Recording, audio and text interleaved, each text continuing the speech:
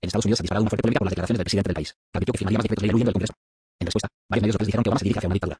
En la conferencia de prensa este martes 14 de enero, Barack Obama expresó su enfado por la falta de acciones por parte del Congreso del país. No vamos a estar simplemente esperando a la legislación para asegurarnos que proveemos a los estadounidenses el tipo de ayuda que necesitan, afirmó el presidente estadounidense, explicando que tiene un bolígrafo para firmar más decretos ley.